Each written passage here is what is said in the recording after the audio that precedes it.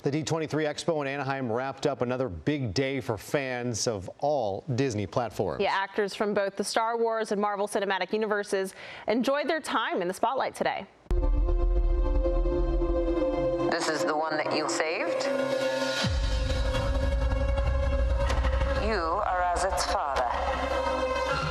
We know this Disney Plus favorite, right? The Mandalorian is gearing up for yet another adventure. At D23 Expo, they revealed the first look for season three of the series, which returns in 2023.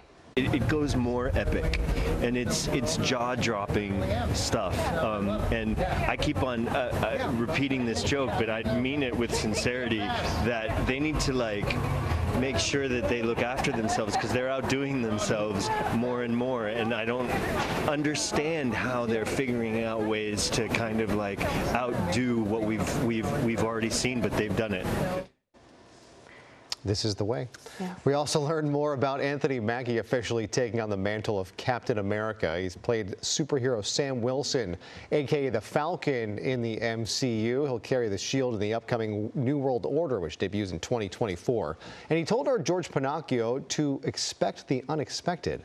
I think my Captain America is, uh, you know, he's the only superhero without superpowers. So he's very grounded. He's very uh, human in nature. So I think people will connect with the idea that he's just like them. You know, he'd be working in his garden or sitting on his couch. He just happened to be out saving the world. With more muscles than most of us. We're beach ready.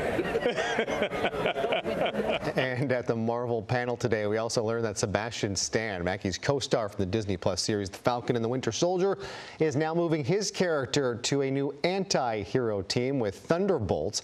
The cast includes Wyatt Russell, plus Florence Pugh, David Harbour, and Julia Louis-Dreyfus. Hello, I'm Mark Brown. Get more great ABC7 content by clicking the subscribe button for our YouTube channel and download the ABC7 Los Angeles streaming app on Fire TV, Android TV, Apple TV, and Roku to watch on your TV.